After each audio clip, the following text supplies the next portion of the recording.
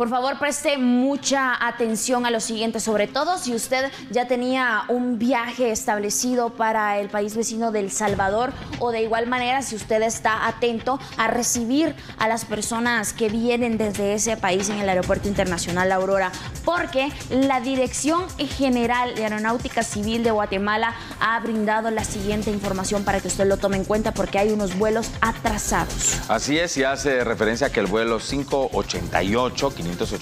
de Avianca, procedente del Salvador, ingresará aproximadamente a las 6 horas con 10 minutos, eh, con retraso de 9 horas. El vuelo 589 de la aerolínea Avianca con destino a El Salvador despegará de la Aurora a las 7 de la mañana con 35 minutos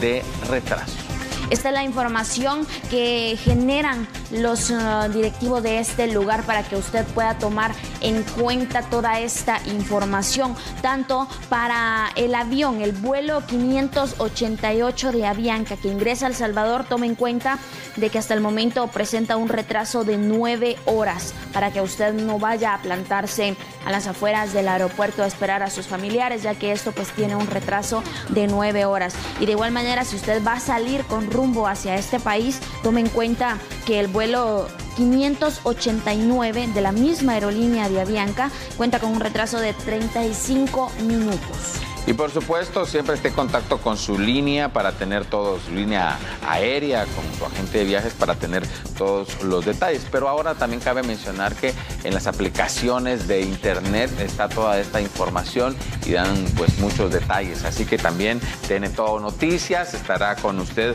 pues dándole a conocer qué es lo que sucede paso a paso en los distintos acontecimientos del país.